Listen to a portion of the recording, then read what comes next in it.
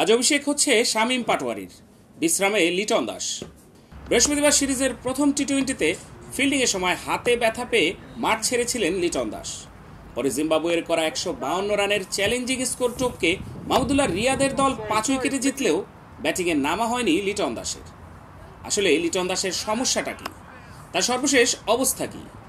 আজ তেইশে জুলাই দ্বিতীয় টি টোয়েন্টি ম্যাচ কি খেলতে পারবে লিটন? উত্তর দিয়েছেন প্রধান নির্বাচক মিনহাজুল আবিদিন নান্নু। শুক্রবার সকালে প্রধান নির্বাচক জানান, লিটনের আগে যে হাতে কবজিতে ব্যথা ছিল, সেখানেই ব্যথা পেয়েছে। এ কারণেই তার পক্ষে প্রথম টি টোয়েন্টি ম্যাচে ব্যাটিংয়ে নামা সম্ভব হয়নি। এদিকে মিনহাজুল আবিদিন নান্নু আরও জানিয়েছেন, আজ হারারে স্পোর্টস ক্লাব মাঠে অভিষেক হচ্ছে তরুণ অলরাউন্ডার শামীম পাটোয়ারির। বাংলাদেশের একাত্তরতম ক্রিকেটার হিসেবে টি টোয়েন্টি অভিষেক হতে চলেছে তার। নান্নুর ব্যাখ্যা লিটন দাস আজ খেলতে পারবে না, তাই শামীম পাটোয়ারিকে খেলানো হবে।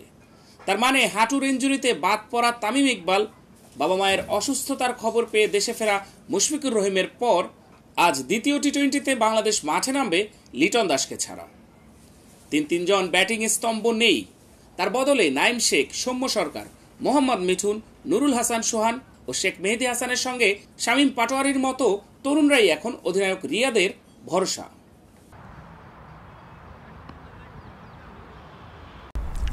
আমার মনে হয় প্রতিটা টি টোয়েন্টি গেমই চ্যালেঞ্জিং কারণ ফেভারিট টিম বলতে আমার আমার কাছে মনে হয় যে এই ফর্ম্যাটে বলাটা খুব টাফ পার্টিকুলার ডেতে যে ভালো ক্রিকেট খেলে তাদেরই জয়ী হওয়ার সম্ভাবনা বেশি থাকে। তো আমরা অবশ্যই তামিম এবং মুশফিককে মিস করব। তারা অবশ্যই আমাদের দলের জন্য অনবদ্য দুজন খেলোয়াড়। তারপরেও আমি বলব যে এটা অন্যদের জন্য এবং আমাদের সবার জন্য সুযোগ প্রতিটা ম্যাচ বাংলাদেশের জন্য, জেতার জন্য। আর জিম্বাবুয়ের কন্ডিশনে জিম্বাবুয়ে খুবই ভালো একটা টিম এবং আমাদেরকে ভালো ক্রিকেট খেলে ওদেরকে বিট করতে হবে। তা তো অবশ্যই টেস্টে আমরা ভালো ম্যাচ খেলেছি, আমরা জিতেছি। তিনটা ওয়ানডে ম্যাচেই আমাদের ব্যাটসম্যান এবং বলাররা ভালো পারফর্ম করেছে। আমরা তিনটা ম্যাচে জিতেছি। সেই আত্মবিশ্বাস আত্মবিশ্বাসটা আমাদের অবশ্যই থাকবে এবং আমরা চেষ্টা করব সেই আত্মবিশ্বাস নিয়ে যেন আমরা কালকে ম্যাচটা খেলতে পারি এবং যেন আমরা আমাদের ফেভারে রেজাল্টটা ইনশাল্লাহ আনতে পারি।